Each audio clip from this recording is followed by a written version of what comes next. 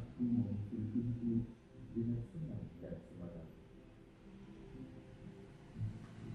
Aku memukul pintu menuju puncak prestasi.